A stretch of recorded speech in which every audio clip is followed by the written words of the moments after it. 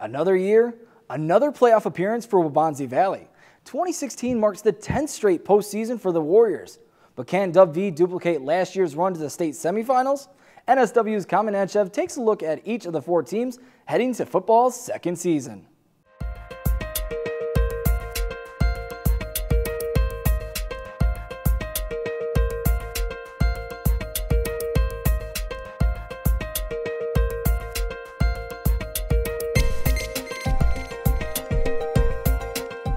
We start our football preview with the three 8A DVC teams that earned playoff spots.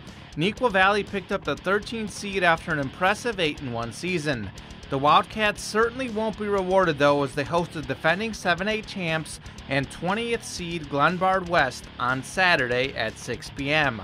Neuqua returned several defensive starters back from injury, but will also be without leading wide receiver Donnie Navarro, who broke his collarbone last week.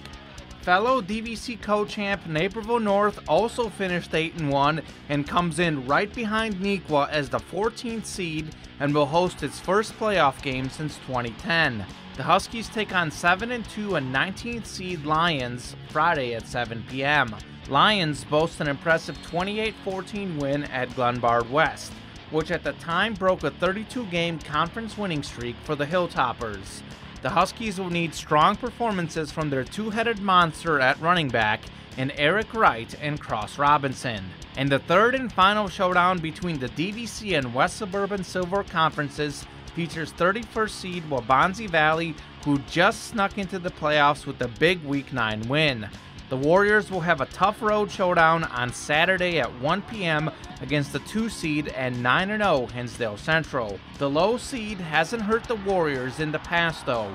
Waubonsie made the 8A semifinals last year as the 30th seed. In all, it's a loaded 8A bracket with 17 teams who are either 9 0 or 8 1. Switching gears to the 7A and 11th seeded Benet who will host the 22nd seed Hoffman Estates Friday at 7 p.m.